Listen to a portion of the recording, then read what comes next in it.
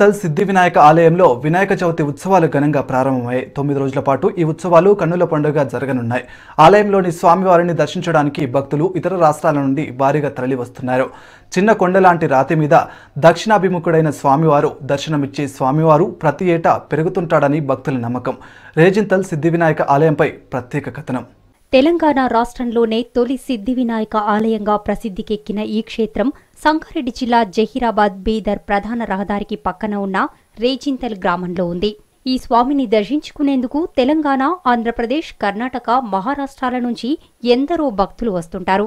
గర్భాలయంలో ఉండే ఈ స్వామి దక్షిణాభిముఖుడై దర్శనమిస్తాడు. ఈ సిద్ధి వినాయకుని రూపం చిన్న కొండలాంటి రాతి మీద అస్పష్టంగా ఉంటుంది. ఈ స్వామికి సింధూర వర్ణం పులమడం వల్ల చూడగానే ముందు మనకు ఆంజనేయ స్వామి గుర్తుకు వస్తాడు.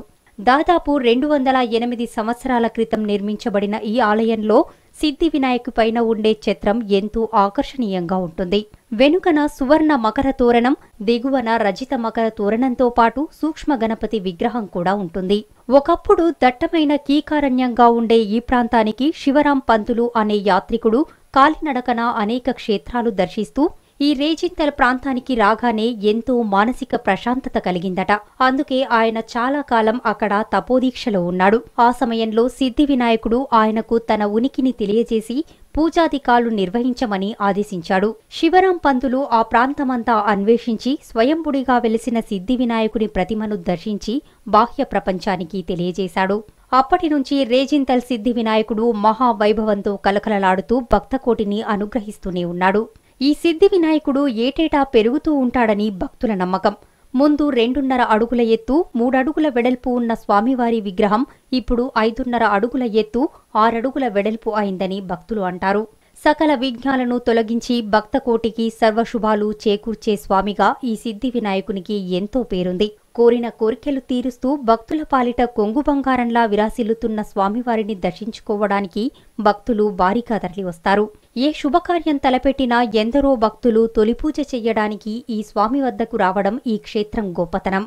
అందుకే ఈ సింధూర వర్ణ గణపతి భక్తజన పూజ్యుడు ప్రేమ పాత్రుడు అయ్యాడు. వినాయక చవితి రోజు దర్శనం ఇచ్చిన రోజు. అప్పటి నుంచి ఇప్పటి వరకు దేవుడు పెరుగుతున్నాడు. విశేషం అంటే దక్షిణాభిముఖం సౌత్ ఫేస్ దాని గురించి విశేషంగా అంటే మీరు భక్తులు ఏం కోరుకుంటారో అది నలభై ఒక్క రోజు లోపల తొందరగానే నెరవేరుతాయి. విశేష చాలా విశేషంగా తొందరగానే నెరవేరుతాయి.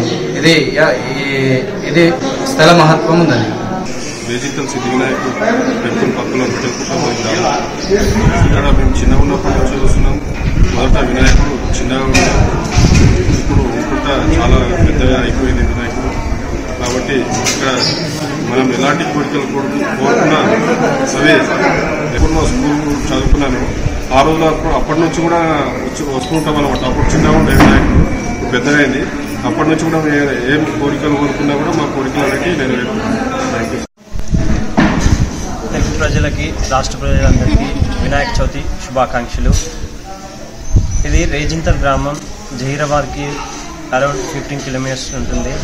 ఇక్కడ స్వయంభూ సిద్ధి వినాయకుడు తనంతట తాను వెలిసి ప్రతిరోజు దినదినాన తన తన యొక్క అంగుళాల పొడవును పెంచుకుంటున్నాడు. సంఖ్య పెరుగుతూ వస్తుంది. సో ఇక్కడ ఉన్నటువంటి భక్తులందరూ కోరిన కోరికలు తీరుతుంటాయి. అందరికీ వినాయక చవితి శుభాకాంక్షలు టెంపుల్ ప్రత్యేకత ఏంటంటే కోరిన భక్తులు కోరిన కోరికలు కనిపిస్తారు ప్రతిసారి అంగుళం పొడవులతో పెరుగుతూనే ఉంటారు